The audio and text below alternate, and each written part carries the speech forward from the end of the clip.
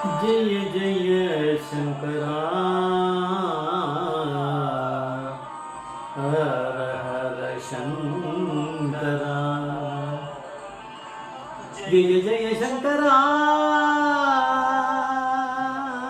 हर हर शंकरा। जय जय शंकरा, हर हर शंकरा, जय जय शंकरा। ఓం గురుభ్యో నమ నమస్కారం కాంచీపీఠం காஞ்சி దివ్యగణాభేశం కాంచీం జగతం నమస్తే అపారగణసిద్ధం జ్ఞానం శాంతపుణం శ్రీ చంద్రశేఖర్ గురు படமானதான கலிகதேவம் பஞ்சமாதி யூடியூப் சேனல் பிரத்யேகமாக மகாபரியோட பக்தருக்கு ஏற்பட்ட ஏற்பட்ட கொண்டிருக்கும் மனங்களில் ஒவ்வொரு நாளும் ஒவ்வொரு அனுபவம் ஒரு தலைப்பு இன்னைக்கு அனுபவத்தோட தலைப்பு கராத்தே மணி தாயாரை பார்த்து பெரியவா ஏன் சிரித்தார் கராத்தே மணி தாயாரை பார்த்து மகா பெரியவா ஏன் சிரித்தார் விருதாச்சலம் ராமதுரை ஐயர் அவர் தான் வந்து இந்த அனுபவத்தை சொல்லியிருக்கார். அப்போ வந்து பிரதோஷ மாமா அப்படிங்கிற அறுபத்தி நாலாவது நாயன்மார் அப்படின்னு மகாபெரிவா அவருக்கு சொல்லியிருக்கார் அவரை. அறுபத்தி மூணு நாயன்மார்கள் இருக்கார் நீ தான் அறுபத்தி நாலாவது நாயன்மார். அந்த பிரதோஷ மாமா வந்து உத்தியோகத்தில் இருந்தபோது சதன் ரயில்வேல எக்மோரில் ரயில்வே குவார்ட்டர்ஸில் இருந்தார். அந்த குவார்ட்டர்ஸ்லேயே கொஞ்சம் பக்கத்தில் இருந்தவ வந்து இந்த கராத்தே மணின்னு உண்டு அந்த காலத்தில். ரொம்ப ஃபேமஸ் அவர் கராத்தே இது. அவருடைய தாயார் வந்து இந்த பிரதோஷ மாமா கிரகத்துக்கு வந்து அந்த பூஜையெல்லாம் கலந்துப்பா. தன்னால் முடிஞ்சதை பணமாகவோ இல்லை கைங்கரியமாகவோ பண்ணி கூட அந்த அந்த பூஜையெல்லாம் கலந்துப்பா. இப்படி இருக்கும்போது வந்து அந்த தாயார் இந்த கராத்தமா கராத்தே மணியோட தாயாருக்கு வந்து ஒரு பெரிய பிரச்சனை. தலையில் வந்து ஒரு முடி கூட கிடையாது எல்லாம். வழுக்கையாக இருக்கும். இதை பார்த்துட்டு நிறைய பேர் சிரிச்சிருக்கா. சில பேர் வந்து ஏளனமாக சிரிப்பா. கிண்டல் பண்ணுவா. இதெல்லாம் இந்த மாமிக்கு வந்து ரொம்ப த- இருக்கும். ஒரு நாள் வந்து சொன்னார். இவர் நம்ம பிரதோஷ மாமா சொன்னார். உனக்கு வந்து நீ வந்து மகாபரிவாளை தரிசனம் பண்ணியிருக்க போய் பார்த்துட்டு வா. ஒரு குருங்கிறவர் எந்த மாதிரியான ஒரு அனுகிரகம்லாம் பண்ணுவா? அப்படின்னு உனக்கு தெரியாது.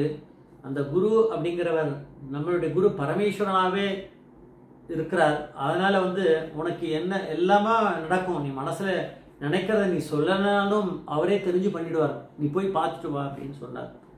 அதனால் இது கொஞ்சம் தெம்பாக இருந்தது. அந்த கராத்தே மணியோட தாயார் வந்து போனான். ஒரு நாளைக்கு போய் மாப்பிரிவாடை பார்த்து தரிசனம் பண்ணி கீழே நமஸ்காரம் பண்ணிட்டு இருந்தபோது கையில் ஒரு பழத்தை கொடுத்துட்டு பெரியவா ஓஹோ ஹோ ஹோன்னு சிரிக்கிறா பெருசா.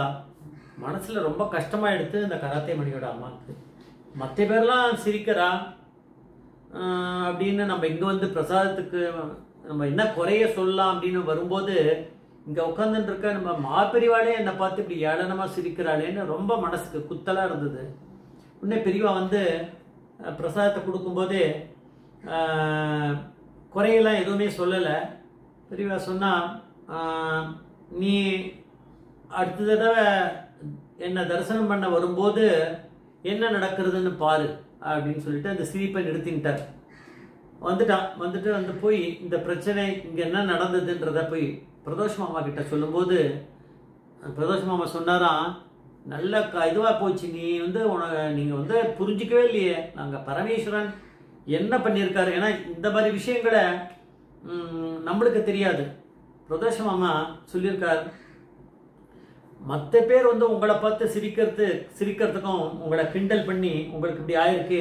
ஒரு இந்த மாதிரி சுமங்கலியா இருக்க நேரத்தில் குங்குமம் வச்சிருந்தானா தலையெல்லாம் வழுக்கையா ஒரு முடி கூட தலைமுடியே இல்லாமல் நீங்கள் இருக்கிறத பார்த்துட்டு எவ்வளோ பேர் உங்களை பார்த்து சிரிச்சிருக்கா? நேரடியாகவும் சரி மறைமுகம் உனக்கு தெரியாமையும் சிரிச்சிருக்கா? அவா சிரிக்கிறதுக்கும் மகாபிரிவா சிரிக்கிறதுக்கும் வித்தியாசம் இருக்குது அப்படின்னு அவர் சொன்னார். அது மட்டும் தான் சொன்னார். அதுக்கப்புறம் ஒரு கன்வீன்ஸுங்க ரொம்ப இல்லை இந்த அவார்டுக்கு ஆனால் ஒரு நாலு மாதம் அஞ்சு மாதம் போயிருக்கோம். அதுக்கப்புறம் போக முடியல. போகலாம்னு நினச்சாலும் போக முடிஞ்சது அந்த தரிசனத்துக்கு போக முடியல. ஆனால் நடந்த ஒரு அதிசயம் என்னன்னு கேட்டால் அற்புதம். வேகமாக கிடு கிடு கிடு கிடுன்னு தலைமுடி வளர ஆரம்பிச்சிருத்து அந்த மாமிக்கு. நல்லாவே வளர்ந்துருத்து நல்லா பெருசாக வளர்ந்துருத்து நல்லா போட்டு முடிச்சு போடுற அளவுக்கு பெருசாக வளர்ந்து அதுக்கப்புறம் வளர்ந்துட்டு போகும். ஆப்பிரிவான்ற பரமேஸ்வரன் தாங்க. ஸோ என்ன அனுகிரகம் பண்ணியிருக்கான்னு தெரியாது. அப்புறம் போய் தரிசனம் பண்ணுறதுக்காக போகணும்னு கிளம்பும்போது அதே மாதிரி பிரதோஷ மாமா பார்க்கும்போது சொன்னா பிரதோஷ மாமா சொன்னா இப்போ தெரிஞ்சுதா? நான் அன்றைக்கி சொன்னேனே மகாபிரிவா அப்படிங்கிறவர் பரமேஸ்வரன் எல்லாத்தையும் திருத்த வைப்பான்னு சொன்னேன். உனக்கு அது புரியாமல் இருந்தது இப்போ தெரிஞ்சுதா? அதனால் மற்ற பேர்லாம் சிரித்ததுக்கும் மகாபிரிவா உன்னை பார்த்து சிரித்ததுக்கும் வித்தியாசம் உனக்கு தெரியறதோ? அப்படின்னு கேட்டார். தெரியலன்ற மாதிரி இந்த மாமி சொல்லியிருக்கா. பிரிவா சிரித்தது மற்ற பேர் மாதிரி கிடையாது. பெரியவா வந்து யாரெல்லாம் உன்னை பார்த்து சிரிச்சாலோ உனக்கு தலைமுடி இல்லைன்னு சொல்லிட்டு அவளை பார்த்து சிரிச்சிருக்கா. இதுதான் நடந்திருக்கு அப்படின்னு யாருக்கு தெரியும்னா இந்த மாதிரி நாயன்மார் அப்படின்னு சொல்லக்கூடிய அறுபத்தி நாலு நாயன்மார் நாயன்மார் நம்ம சொல்லக்கூடிய பிரதோஷ மாமாவுக்கு தானே இந்த மாதிரிலாம் தெரிய ஆரம்பிக்கும். அவர் தான் சொல்லியிருக்கார். மற்ற பேரெலாம் நம்மளை பார்த்து ஏளனமாக சிரிக்கிறா. ஆனால் மாப்பிரிவா வந்து சிரிச்சது அந்த மாதிரி ஒன்றை ஏளனமாக சிரிச்சவாளை பார்த்து பெரியவா சிரிச்சிருக்கா. நீங்களாம் இப்படி சொல்கிறேட அவள் எப்படி ஆறாப்பார் அவளுக்கு எப்படி தலைமுடியை வளா பார் அப்படின்னு அவளை பார்த்து சிரிச்சிருக்கா பெரியவானா இது பெரிய அனுகிரகம். பெரிய அதுக்கப்புறம் தரிசனம் பண்ணி நிஜமாகவே நிஜமாவே கராத்தே மணியோட தாயார் தரிசனம் பண்ணி பிரசாதம் வாங்கிட்டு இருக்கா. பெரியவா ஒன்றும் சொல்லிக்கல. என்ன திருப்தி தானா அப்படின்ற மாதிரி கண்ணில் காமிச்சிருக்காரு அவ்வளோதான் வேற என்ன பண்ண முடியும்? ஜெய் ஜெய்சங்கர் ஹரிசங்கர் மகாபிரியா பாதவி மகாபிரியா பாதவி